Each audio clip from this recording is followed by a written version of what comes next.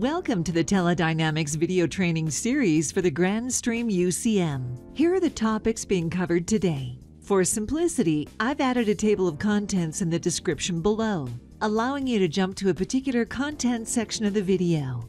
Now, let's get started. Today, I'm going to show you how to use GrandStream's Wave application to connect to the UCM 6300's newest feature, the Operator Panel.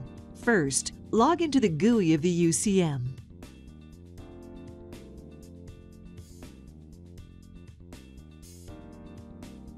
Under Extensions, edit the extension you'll be using to connect to the operator panel and verify that you know your Wave password or reset it here to something that you do know.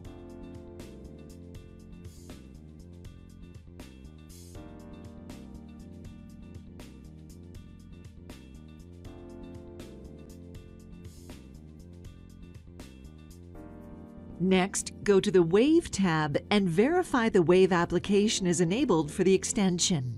Always remember to save and apply your changes.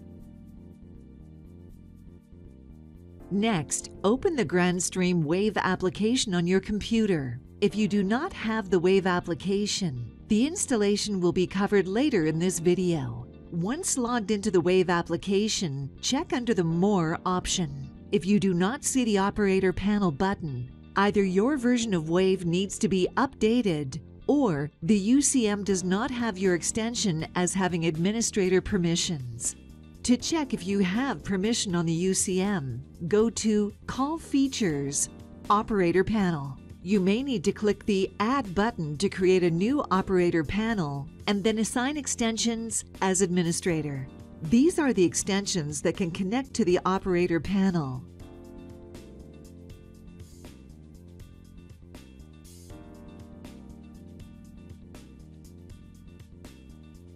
Under the Management Module option, these are the extensions to be monitored. Select any additional items you would like to monitor as shown here.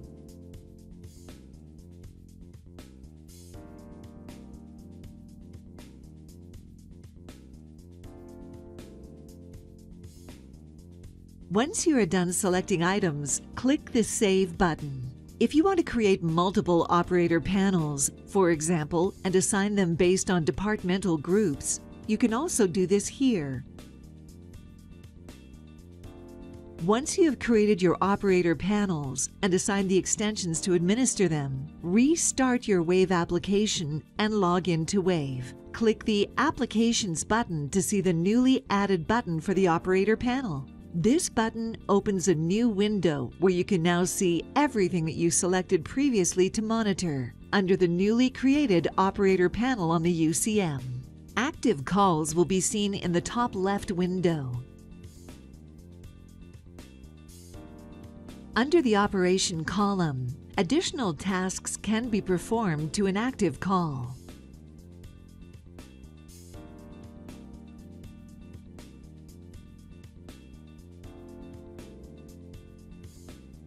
You will want to be careful with which extensions you give administrator rights, as those extensions have the ability to transfer, spy, park, answer, etc. the active call as shown here.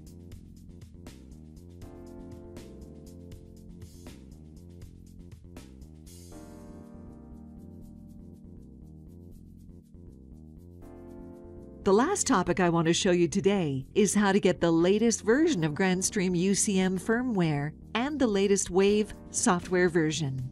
Go to firmware.grandstream.com and scroll down to the UCM 6300 area. Click on the Wave version you are needing based on your operating system or device, and then check for the download link in the release notes. Install the program and you are all set.